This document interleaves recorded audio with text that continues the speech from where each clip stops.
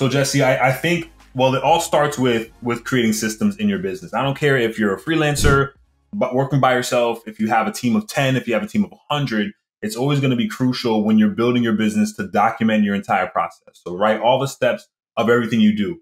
Oh, you're create you're adding analytics to a site. Step one, go to google.com forward slash analytics.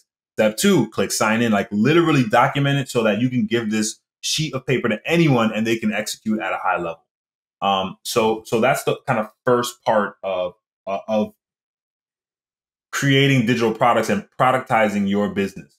So now that you've created these systems internally, now you can basically package those and sell those to other freelancers and other agencies in your space. So in my example, let's uh, for the Web Designer Studio Accelerator course, right? I said, okay, we already have all these systems in place. We have all the documentation. We have all the Figma files. Why don't we just package this into a course and then just sell it to other agency owners? And I did that, package it, and then started to create a community and sold that to other agency owners. Now that did that did a couple things. One, it creates a consistent revenue stream that we can not necessarily rely on, but we know is consistently coming in every month if we spend a certain X amount of dollars in ads to promote that. And that's the only thing that I run ads on. Our agency, we, we, we're pretty much referral based.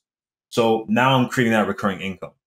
Now, when I go back to my agency, in regards to customers that we're bringing in and, and talking to, we can increase our price point to get higher quality leads and clients because we're making enough money from this other revenue stream where we can be more selective with the clients we take on. So a lot of freelancers, agency owners, they might take on a project where it's like, hey, I'm going to charge a client 15 and they come back and like, well, I only have 7,500. Now you're thinking, okay, I can either take this 7,500 or I can take zero and then go to the next project. So you take that 7,500 and now this client is like digging into you for the project. You're losing hours, you're losing time, you're compensating your team. And now you come up out, you come out of it, you know, losing money as opposed to waiting for the next project. But you're thinking, I have this money on the table. I need to take it right now. If you have an additional revenue stream or something else kind of taking care of that, you can say, you know what, let's skip this one and move on and, and book another project that's twice as big. Now we're making twice the money for less the, for 50% of the work.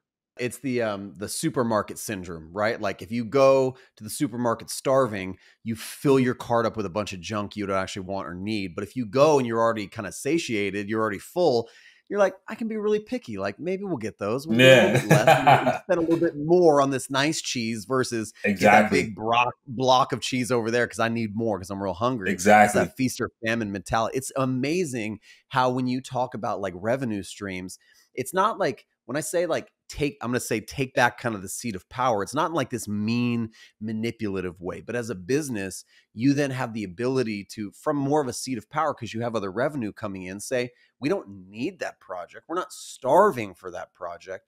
I like that client. I like that project. I like your maybe your cause or your mission even. I mean, I've I've had the opportunity even to do like pro bono work because I'm like, I believe exactly in your mission and your exactly. and your vision and direction like i don't need your money like i would love to work on this a little bit like let me see what i can do and we have that wiggle room for personal satisfaction and balance in our lives right? exactly. because of the work that we've done building other revenue streams that's amazing